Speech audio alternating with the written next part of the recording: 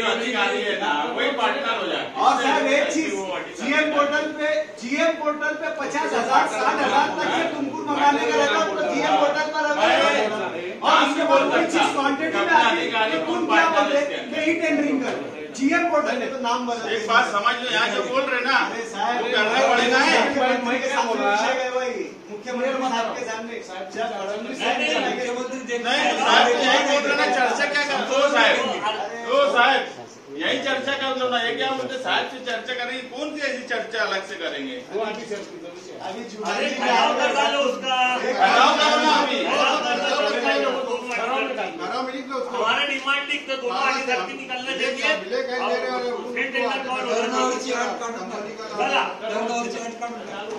Red. का आणि वो सप्लायचे राहू द्या एखाद्या महापालिकेचं नका टाकू. ते म्हणताय रेल्वेला असं नगरपालिकेला असं नाही, नाही, नहीं नहीं साहब अभी ये किसके क्या है? साहब उसके पास दवा है? रहेगी वही देगा ना साहब अभी अनुभव में ऐसे संबंध नहीं आता ना दवा दे रहा ना वो मेरे से मारने तो का वो सवाल मांगी है। नहीं देते ऊपर क्या साहब उपायुक्त मैं दवा दूँगी ये दे दो भाई अपने पास कंपनी का नाम है। कंपनी का वो है जो साल में मैंने अनुभव क्या लगता है है कि स्वच्छता किसके तरफ़ से ये साहब के तरफ़ तो था मेरे पास कुछ भी विषय तरफ़ तो ये विषय ये ये मेरे पास- नहीं, स्वच्छता मेरे- है पास डिपार्टमेंट नहीं मेरे पास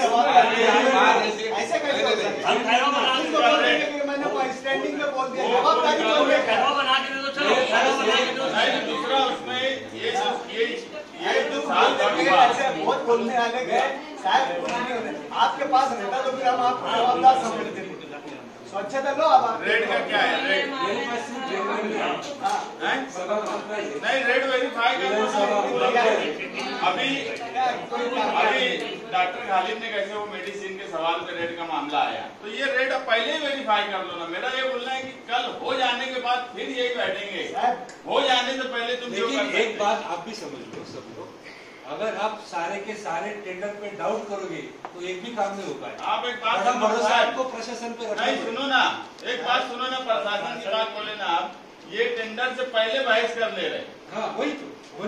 ये, जो बात हो रही ना पहले हो रही। इसलिए कोई भरोसा नहीं करने का नहीं सवाल। प्रशासन की बात ऐसी है कि प्रशासन गुड पार्टनर है। नहीं नहीं ऐसा नहीं अरे मैं बोल रहा नाम बोल दूँगा मैं। मैं नाम बोल दूँगा अधिकारियों को। नहीं भी। नहीं, सिर्फ़ नाम मत बोलो पुरावा भी दे दो फिर। आपको भी मालूम है पुरावा नहीं मिलता। आपको भी मालूम है। नहीं ऐसा कैसे- पुरावा नहीं मिलता नहीं, कैसे? होती होगा?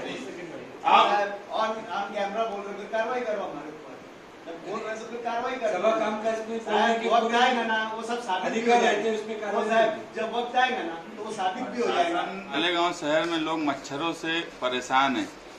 तो मैं एक विषय दिया था कि टेंडर जो है अभी नया जो टेंडर निकालने वाले हैं जबकि टेंडर का वक्त 31 मार्च को खत्म हो गया।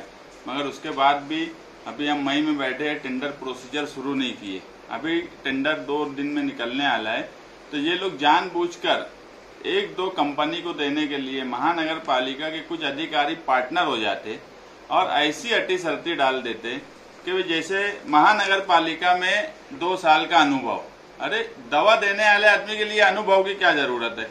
मैं दवा ला के दू कि कोई दूसरा दवा ला के दे? उसमें कुछ करना नहीं है। कंपनी की दवा है, वो लाना है तो अनुभव का कोई सवाल ही नहीं आता। और अनुभव अगर दवा देने वाला रेलवे में देवे नगर पालिका में देवे पंचायत समिति में देवे, उससे अपना, हमें क्या लेना देना? दूसरा, ऐसा कि एक करोड़ चालीस लाख का, उस, यानी एक एक करोड़ चालीस लाख की अटी शर्ती डाल दिए, कितना उसका टर्न चाहिए। तो उसकी भी कोई गरज नहीं है। ये जानबूझ के कुछ एजेंसी को देने के लिए करते तो विषय ला के ये अटी शर्तें निकाली गई, ठहराव करके दिया गया प्रशासन को, ताकि और भी लोग उसमें टेंडर फेयर टेंडर हो, दूसरे लोग भी उसमें टेंडर में पार्टिसिपेट हो सके, और कारपोरेशन का उससे फ़ायदा होगा।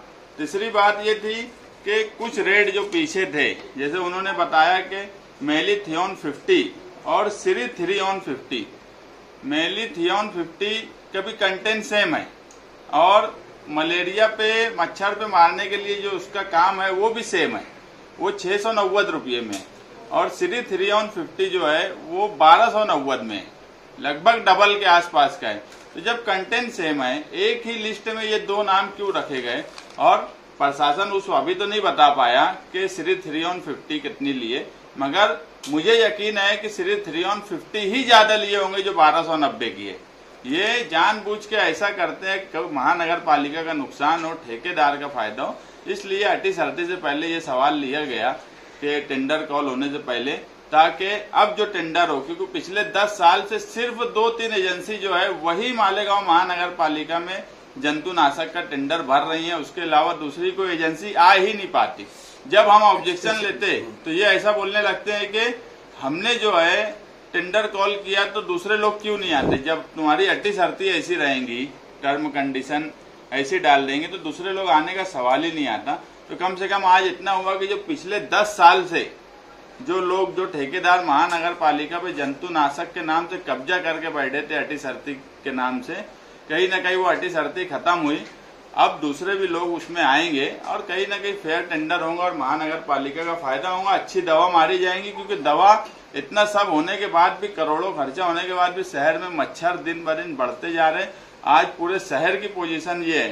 पूरे महानगर पालिका नदी के उस पार से लेके इस पार तक कि शाम में लोग अपने घर के बाहर बैठ नहीं सकते, ऐसी पोजीशन हो गई। नहीं तो मालेगांव शहर में लोग पहले शाम में गर्मियों के दिनों में बाहर बैठा करते थे।